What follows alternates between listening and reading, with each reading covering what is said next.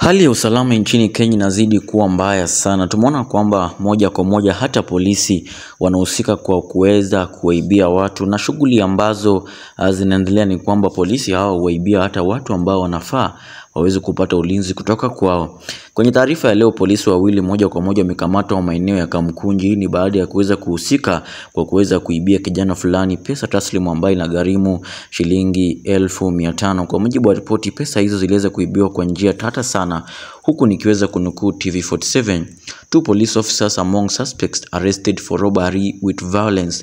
Two police officers attached to the Kamkunji police station are among the four suspects arrested over suspension of a robbery with violence of uh, 500,000 uh, Kenyan shillings belonging to a Machakos University student in Juja, Kiambu.